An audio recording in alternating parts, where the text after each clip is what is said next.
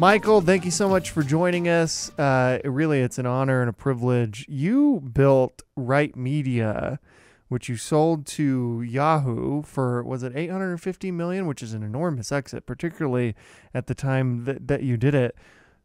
What was that experience like? What was it like building Right Media? And maybe explain a little bit what Right Media is. Sure. Well, thanks. Thanks for having me. It's great to be here. Um, yeah, Right Media was was was my first foray into uh, into entrepreneurship. Um, I, I wound up uh, by a very circuitous route uh, working at DoubleClick in the late '90s. Um, learned a lot about the digital advertising business there, and came up with this crazy idea that, that we should be trading digital advertising the way that we trade stocks. Um, and so, Right Media was the first, uh, I think, at scale digital ad exchange. Um, uh, which uh, which I started in 2002 as as kind of the the uh, the meltdown, the dot com meltdown was um, beginning to sort itself out, um, and then just happened to catch the timing just right. The market was ready to transact that way, and we uh, you know we we sort of saw this incredible growth in the the business, um, and it kind of we went we sort of went from from one meltdown to the next meltdown in in uh, 2000 and seven April of 2007, as things were starting to get a little bit squirrely in the financial market, we sold that business to Yahoo during a sort of extraordinary time when uh, Google bought DoubleClick, uh, Microsoft bought Aquantive, and 24/7 uh, Media was acquired. Uh, all in the span of about three weeks. So it was kind of a wild uh, platform shift that happened. What did you learn about growing a company and scaling a company that quick? Uh, I learned a lot. Um, you know, you you learn a lot about you know it's interesting. You learn a lot about how many things can break and you can still succeed. So that's probably one of the one of the great lessons is that as long as you're fault tolerant and as long as you are are paying attention to what's not working, you can actually break a ton of stuff and still overall have tremendous growth and tremendous success. Um, maybe the the you know the the biggest part of that learning curve was was how how hard it is to go from this sort of fast moving fault tolerant uh, you know highly innovative you can you can get a bunch of things wrong as long as you're willing to sort of wake up the next morning and say okay we got that all wrong let's change it into an organization like yahoo uh, where my organization went almost overnight from about 350 or 400 people to about 5000 people and realizing that that same methodology just didn't work at all there. I spent most of my first year at Yahoo running the advertising marketplaces, figuring out that all the things that made right media work didn't work at Yahoo because you couldn't make a decision and then decide a week later that you wanted to undo that decision. Once you've sent 5,000 people off marching in a direction, um, you know, you sort of have to maintain the pace for a period of time where everyone starts bumping into each other. So um, I'd say the, the learning curve was more than just the right media learning curve. It was the transition from that high growth into the into the larger scaled enterprise. Yeah, five thousand people is a ton of people. that that's actually more an enormous team. Yeah. yeah. yeah, That's that's who was the CEO of Yahoo at that time. Uh, well, I, I, ran through a series of CEOs there. So uh, we so what had happened with Yahoo was they invested in our business about half a year before they bought us. So they, um, you know, the, the, the, thesis at the time was you, you no one can. It was that the the large principal players in media. So this is in 2006 couldn't own the platforms. So the, there was this thesis that DoubleClick couldn't be owned, right? Media couldn't be owned, Aquantive couldn't be owned by anybody who had a principal player in, a role in the media space. Um, and and when Hellman and Friedman put DoubleClick for sale, and it became clear that Google was going to buy that business, the rules all changed, and so everybody had to had to had to own their their their uh, you know every principal player had to own own the ad platform, um, and and so you know when when all those rules shifted, this all all these all these transactions happen, and you, you kind of wake up one day and you're doing one thing, and then you wake up a month later and you're you're doing something entirely different. How long did you stay inside of Yahoo uh, until you left and did uh, your WGI group? Yeah, so um, I was there uh, actively until the end of 2000, about two and a half years. Uh, I had agreed to stay for three years. Oh, sorry. You know what? You asked me the CEO question. So. Uh, oh yeah, yeah. Sorry, even I even I forgot yeah. that. yeah. So so so and, and, you know I I got sidetracked. So but it's interesting part of the story was Terry Semel was the CEO when they bought the company. Jerry Yang had been very actively involved, and he and I in in the investment, and and we'd we'd become very good friends. Jerry stepped in and took the CEO role when when Terry stepped down, rather unexpectedly, I think. Um, and then uh, and then uh, I maybe a little over a year later, Carol Bartz became the CEO. Um, then they had, I think, after that, I, I left shortly thereafter. Um, you know, we just kind of agreed that it was it was time. Um, and then I think they went through. They had Scott Thompson, and there was a bit of a debacle there. And then Marissa Mayer, and they eventually sold the business. So it was something like four or five CEOs over the course of those three years.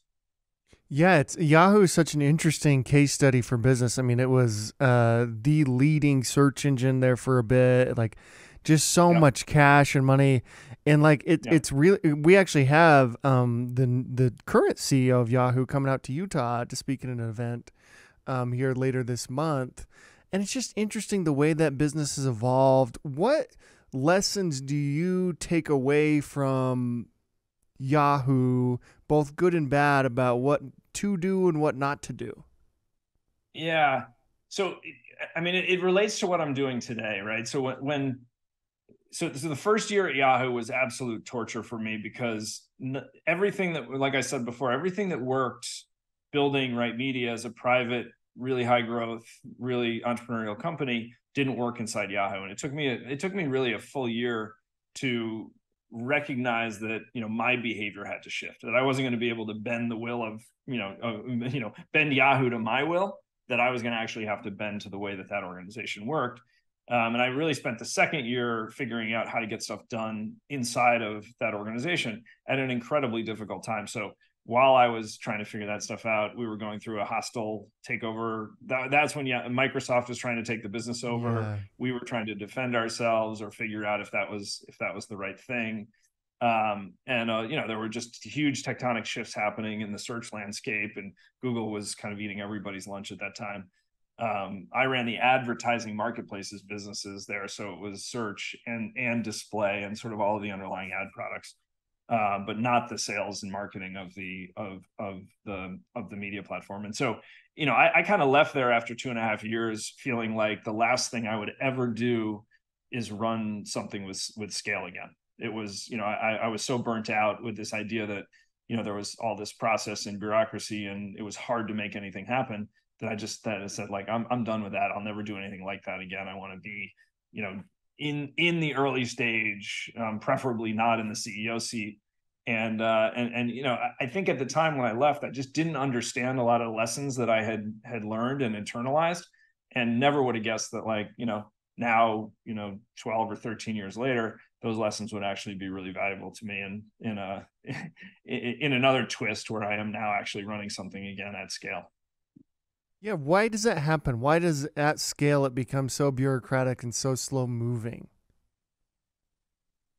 I mean, I think it at some level it has to, right? So it's if you go back to like, you know, if you if you've got a couple hundred people and you can you can literally run around and tell people what to do, right? Mm-hmm. And if you sort of get everybody going in some direction, you know, you're going east and all of a sudden you realize that hey, the destination really should be north he can sort of like you know run to the front of the column and say hey don't go east anymore let's go north right? Um, you, you start trying to do that across a, a, global footprint with thousands of people you know by the time you get to the front of the column you know the column's broken up right? Everyone's kind of going going different directions and so you know i think at some level part of what i didn't understand at that time was that you know moving a little slower is actually an, an asset inside these larger organizations but I think it, it can be it can be overdone to the point where you get so slow that you're paralyzed. And I think we did go through a bunch of that at Yahoo, where you know it, it got so big and so bureaucratic, and there were you know it was so so disparate that you know you couldn't actually the whole the whole column just stopped moving. Yeah, that's so fascinating. Um, and what did you do? So so you left after two and a half years, and then what did you do after that? Um, I took like six months and did nothing which is actually the biggest piece of advice I give to everybody who who you know sort of goes through these.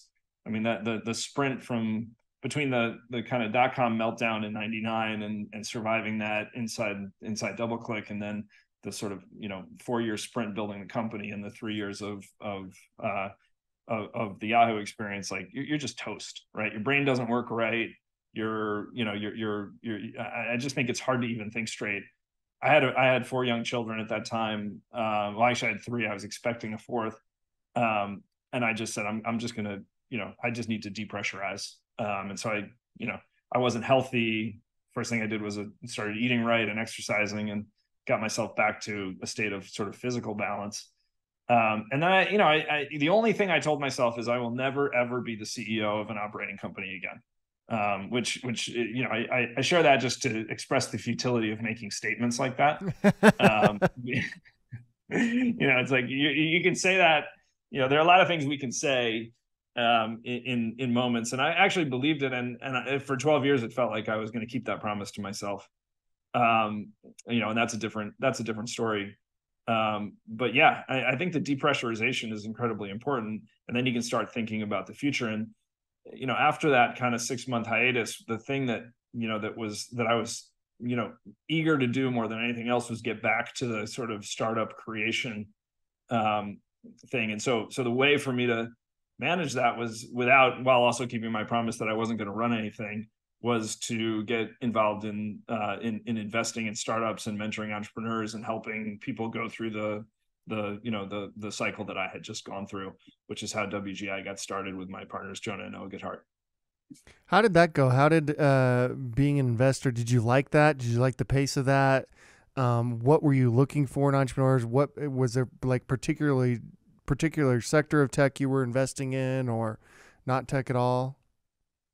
it was mostly tech. I mean, I think actually, I, you know, for the first couple of years, I was I was a pretty awful investor, um, and I think I actually don't think it's that unusual. I think what happens is, you know, I was never an investor before. I was an entrepreneur, and then I had this incredible entrepreneurial run. You know, where where we went from sort of zero to almost a billion dollars of value in four years, um, which had a lot to do with market timing and luck and some good execution as well and then you you sort of you know you, you think that everything's going to work that way all the time right and so you bring this like you know sort of irrationally optimistic lens to the to the investing world and so basically what we, what I did for that for that first kind of year or two is just invest in everything um and it was always like you know my my lens was like I'm sure we can make this work and it turns out that actually you know it was completely the wrong lens to to be a good investor. The good investor is much more cynical. They're much more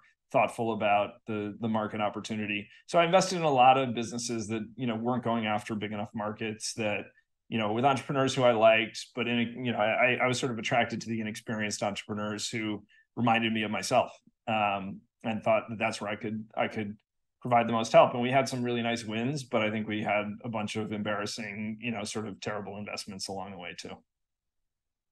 Tell me about moat.com.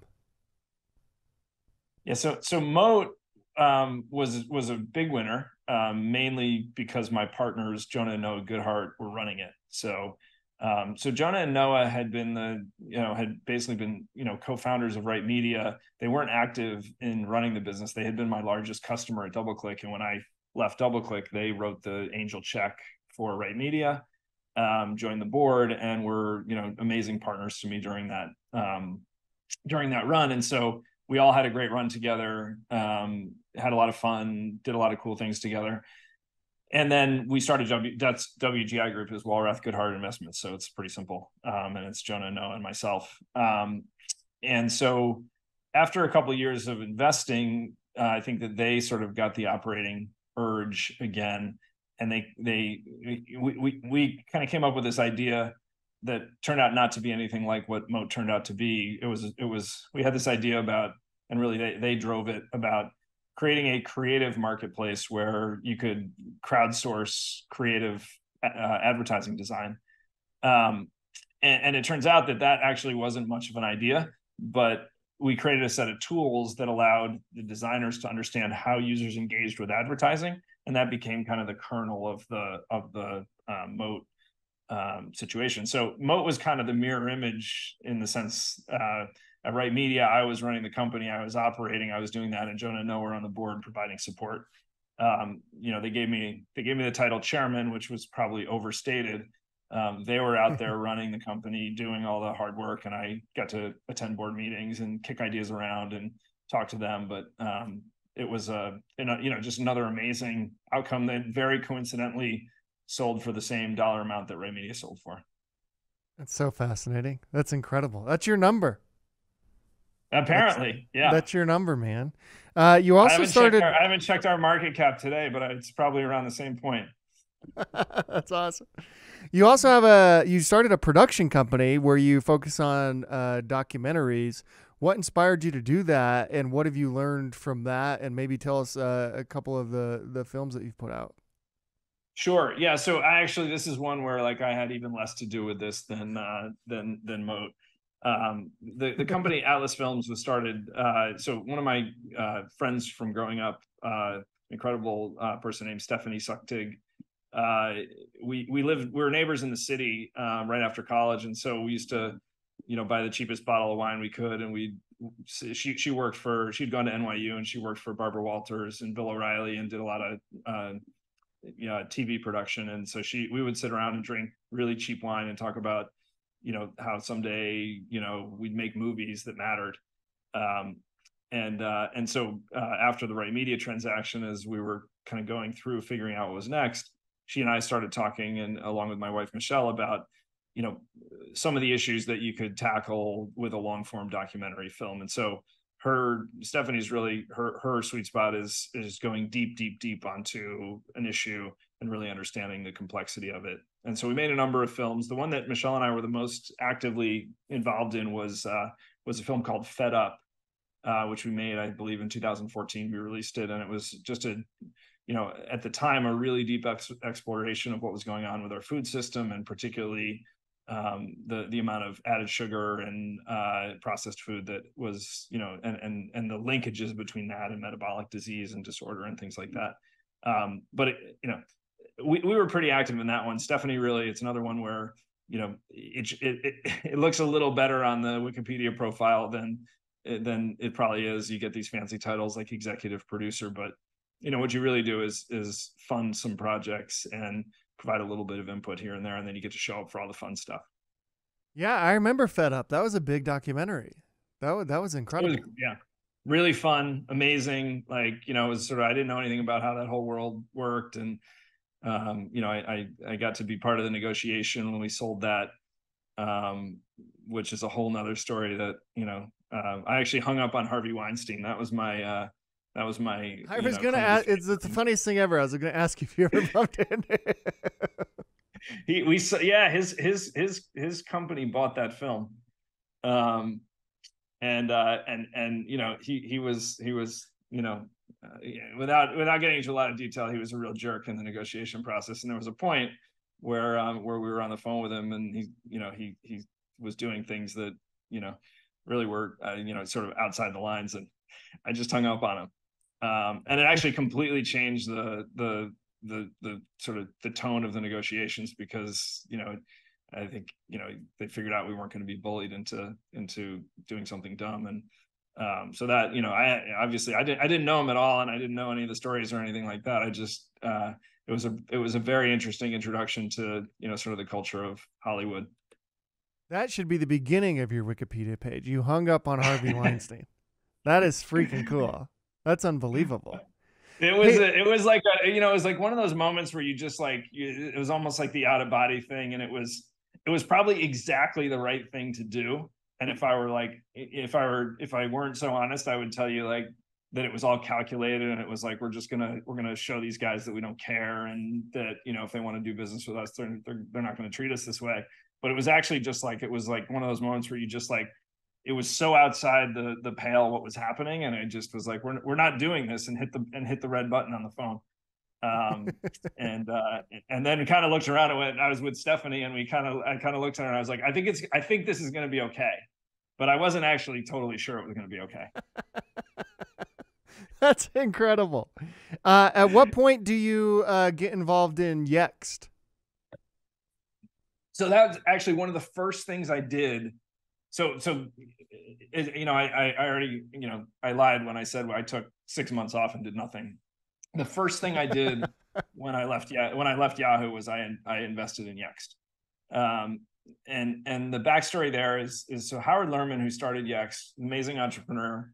I had met while I was uh, he worked for another company. Um, he had sold a, a small company to another company. He was a customer of ours at Right Media, and so he and I met and became friendly.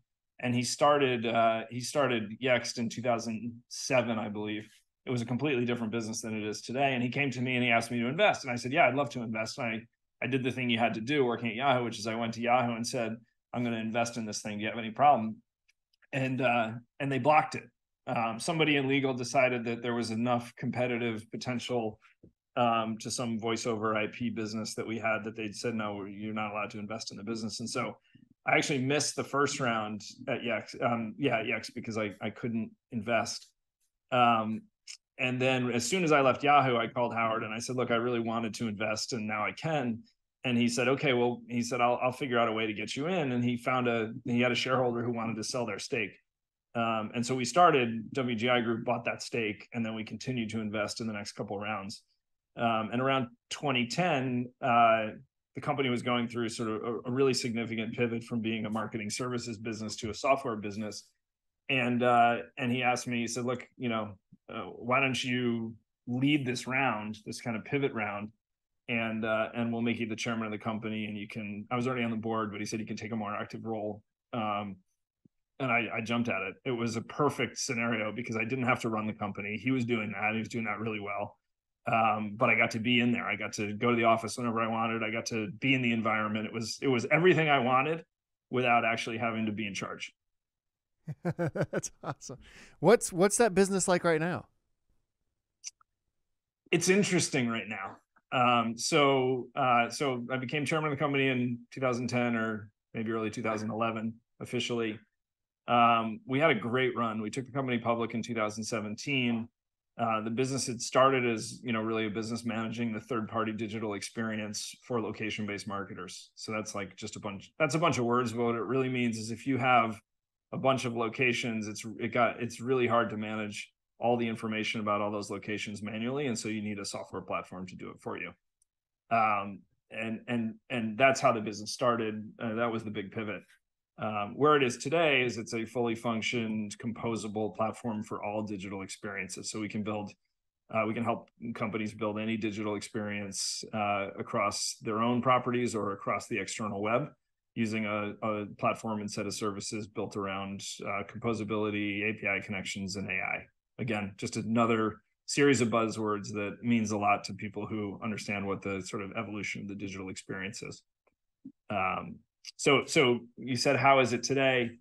Um, we had a great couple years as a public company, and then we ran into a series of challenges uh, that included, you know, realizing that probably the initial market wasn't as big as we had thought it was, um, and then the big one was uh, we were highly uh, concentrated in retail and hospitality if you think about you know who who has scaled physical location footprint it's those companies and so in march of 2020 our business changed fundamentally because uh, everything we we did as a company was geared around the idea of driving people to visit stores. Um, and in march of 2020 for a very long period of time that was not much of a priority for our customers.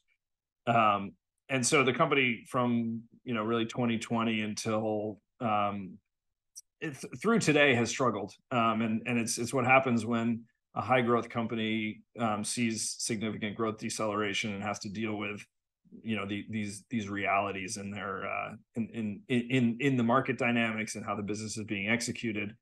Um, along the way, uh, you know, and I apologize, this bit of a ramble, but it's it's kind of an important part of the story um, we did something really important in 2018, which made us look very silly for a few years, which is we made this massive investment in generative AI as sort of the core of the future digital experience. And we had this thesis that, and Howard really drove this with Marc Ferrentino and some other people at the business, that the the the the digital experience of the future is going to be heavily informed by things like semantic and vector search and generative AI, large language models. And for like two to three years, we talked about this and nobody cared. Mm-hmm. Um, and we tried, you know, we tried to get people excited about it and nobody cared. Um, and last November, suddenly everybody cared because ChatGPT had sort of set the world on fire. Um, and so what we're dealing with now is the you know kind of you know turning a business around in the public markets and the worst software market we've seen in the last 15 years um, while also trying to uh, educate the market around you know what's going to happen when this generative ai you know wave breaks what is your take on the current state of ai and, and its future it's the future i mean it's the future in the way that like the internet was the future so you know, I, I think the reality is the way you'll know that it's the future is that we'll stop talking about it. Yeah. Right. So to me, I think where we are with with AI in general is is we're in the kind of late 90s phase in the internet when you know all you talked about was your was your internet strategy right and then by the time you got to you know you just looked up 10 years later nobody talked about their internet strategy because everything had transformed and it was at the center of everything that you did um, I think I think we're at the phase now where where we all talk about our AI strategy. We all talk about you know the importance of using it, the importance of it, embedding it in our products. I, I think in five years we won't actually talk about AI because it's just going to be assumed it's going to be part of the environment. Um, and if you're not using it, then you're you're you're left in the dust, right? So there there aren't there weren't too many companies in 2010 who didn't have a, a web presence. Um, I think I think that's where AI is headed. And I think it's going to transform the way that we do business in some really positive and some really disruptive ways. What have you learned about leadership throughout your career? Like like some really strong leadership lessons, uh, both good and bad. What you've seen work, what what you've seen haven't worked.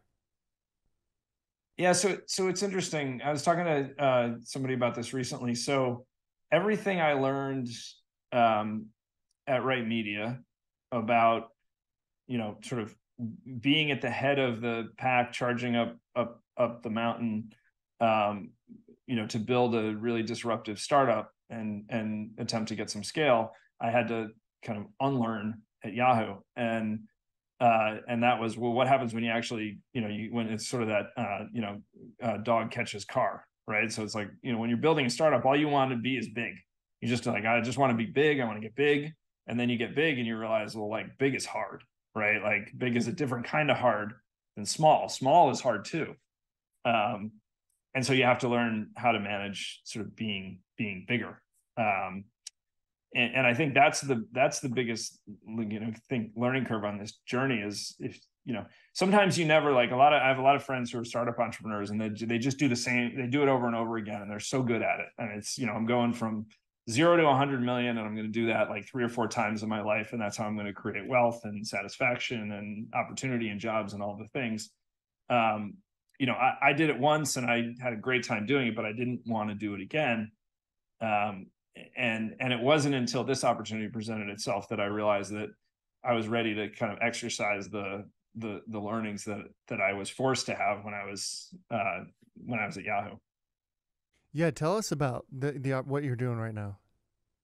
Yeah, so the company I I, I so if you rewind about two years ago, what was happening was you know the sort of the bubble was beginning to to burst, uh, the software bubble that had been driven by you know if if you think about you know the the software thing 2008 2009 coming out of the financial recession everybody started investing huge amounts of money in the digital transformation and so basically the software budget just grew every year, right? And so if you were selling software between 2009 and 2000 and you know 20, you just you knew that there was there was organic growth in your business every year because the companies were going to spend more money on software than they did last year, right? And that's the environment we've been in.